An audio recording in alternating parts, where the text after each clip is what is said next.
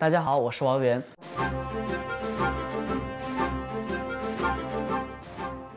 今年呢是新中国成立七十周年，作为零零后的年轻人啊，那么你自己的理解又是什么？对于“祖国”两个字，三四岁的时候吧，我家里人教我学古诗，第一首学的不是“床前明月光”，不是“鹅鹅鹅”，什么学？的是“红军不怕远征难，万里千山只等闲”，学的这个。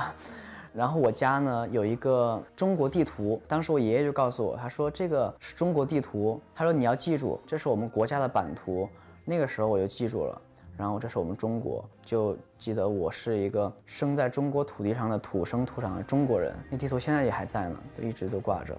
应该感谢有这样的一个家庭的教育哈。前段时间我还听他们跟我讲，我还不相信，他们说你有骑自行车去天安门看升国旗仪式，为什么会有这样的想法？你我们就是要挑战自己，好像晚上没睡还是睡两三个小时，然后起来骑自行车从东三环骑到就是天安门。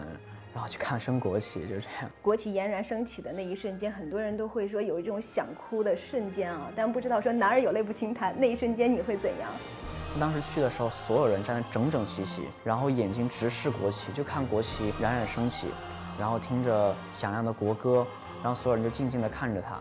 当时我觉得在心中就是。就那几分钟升起的是一股中国的魂吧，年轻点话就是非常燃，然后那个时候就是那种自豪感真的是油然而生。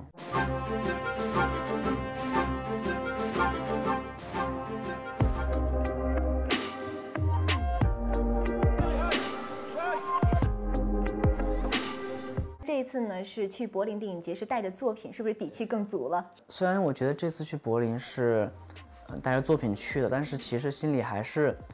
有一点点紧张吧，就觉得说自己真的还需要有很多努力，然后才让自己更加有底气。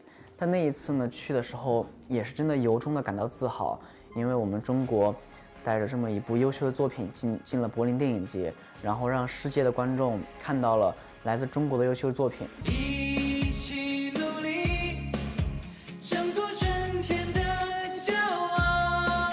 小时候的梦想是什么呀？小时候梦想跟大家一样当科学家。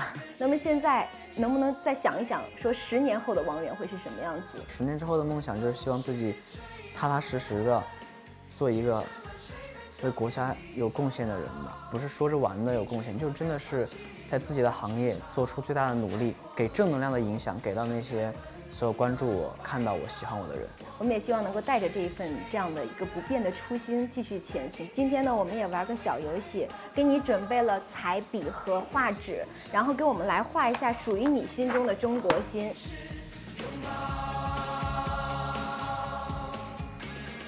嗯，这首先是一个五星红旗嘛，就代表了咱们中国。首先是国，照着每一个家，有强大的祖国，才能有每个强大的家。那家里面有每一个人，所以希望我们每个人都能够更加强大，然后才可以让这个家更好。家更好之后，才可以让国家更好。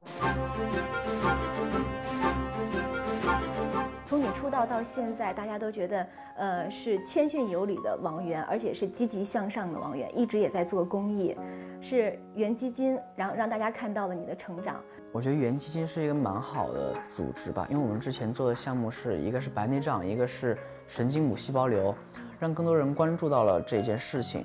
那当然前期的，呃，费用什么都是自己出的，然后后来会有社会捐款通道。但是我觉得这个不是最重要的，我觉得最重要的是让所有人都能关注到这些群体。心中有爱才会有光哈。现在是不是还有爱生学校这样的计划？呃，爱生学校的话是是联合国的一个项目。Dear Excellencies, friends and colleagues, in my role as UNICEF Special Advocate for Education, I've said for myself.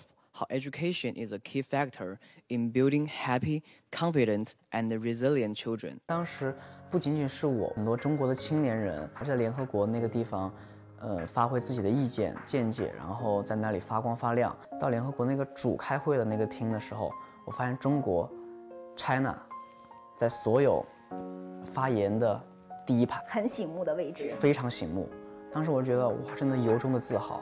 我和我的祖国一刻也不能分割，无论我走到哪里，都唱出一首赞歌。